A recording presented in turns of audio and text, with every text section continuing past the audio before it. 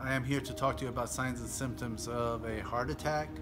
It is important to know that signs and symptoms can be different in men and women. The most typical symptomatology is onset of substernal chest pain with radiation to the arm, back, jaw, sometimes associated with nausea, vomiting, shortness of breath, and sweatiness. It's important to know that women can have subtle symptoms that are different from what I just described. They could present with arm or back discomfort, they could present with fatigue, stomach aches, stomach pain. The bottom line is if you think that there is something that is not right, do not drive yourself, seek medical attention immediately.